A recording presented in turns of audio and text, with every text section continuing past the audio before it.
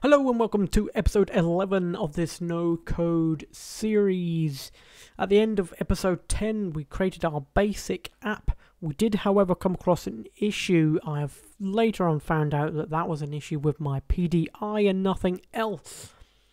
So, upon creating a brand new PDI, it works absolutely fine. No errors with templates and the ability to add data, experiences, logic, and security. So, everything we need as a citizen developer without having to give any additional roles, I should add.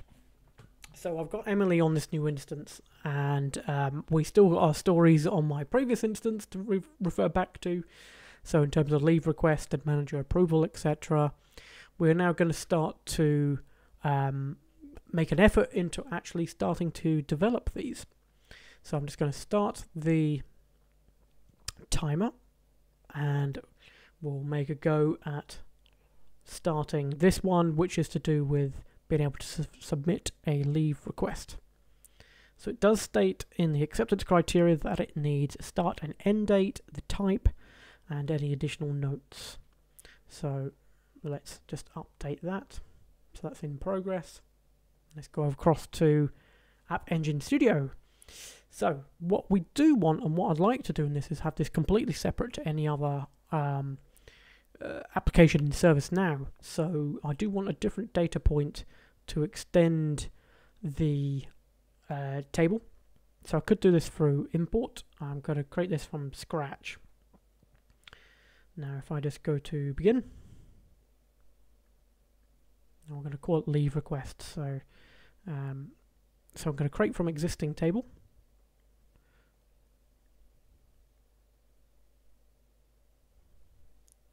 So I'm going to call this, um, I'll just say task. So I'm going to extend from task.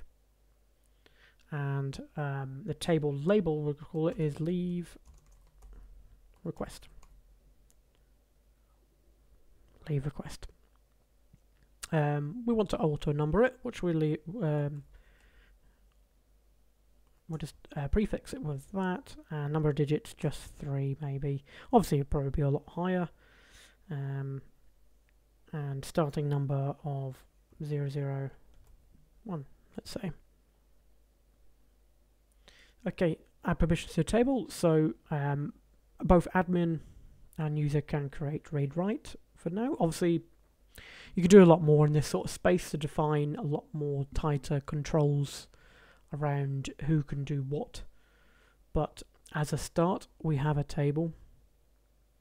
And I'm just going to go edit table to then to start thinking about what additional fields we need on there. So on the story, we did have a few fields which we might not necessarily have on the extended task table.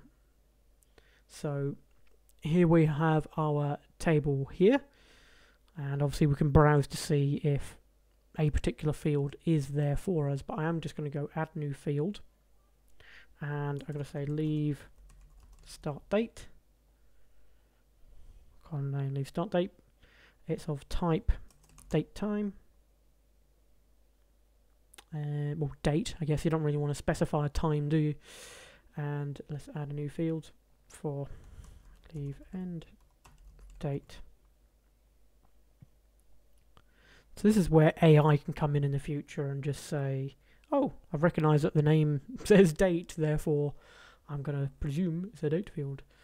Um, I'm also going to include uh, leave type as a choice field.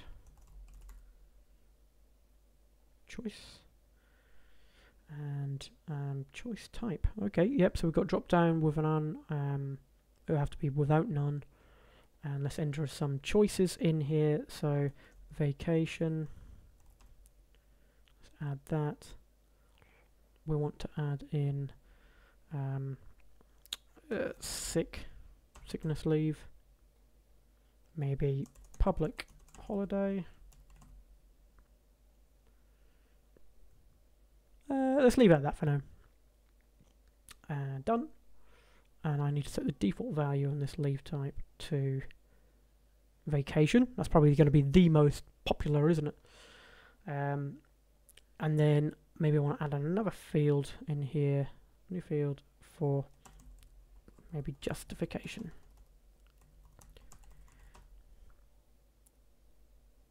Now, of course, I could have done this as just standard request and RITM uh, if I wanted to. Um, I'm just being particularly pedantic here and have it completely separate. So I'm going to say max length 500. Eventually there'll be some logic around these fields to suggest that obviously end date needs to be after start date. Um, if the leave is of a certain type, then you need to enter in a justification. Maybe for sickness you don't, for example, or public holiday. Um, I guess public holiday is not even a suggestion, is it? I mean, um, sickness leave. We don't want to request public holiday. It's stupid. Um, so you request sickness, maybe for an extended period of time. That makes sense. Requested vacation. Okay, I'm just going to stick with those two. They make more sense than requesting public holiday. You got to get it. So that's stupid. Um, okay, let's just stick with those particular fields here, and I'm just going to click on save. So then we have our table, and at the moment, the admin and user of this particular uh, record can create um, those roles. Sorry, can create this particular uh, record here. Now, obviously, there's a lot more that we can do off the back of that in terms of forms. So you can switch to the kind of form view um, where we're going to get a lot more information on the form. We will do that Next, we will configure this form layout so that once it has been um, requested, it's going to appear in the necessary form layout for us. So uh, join in the next one where we go through form design.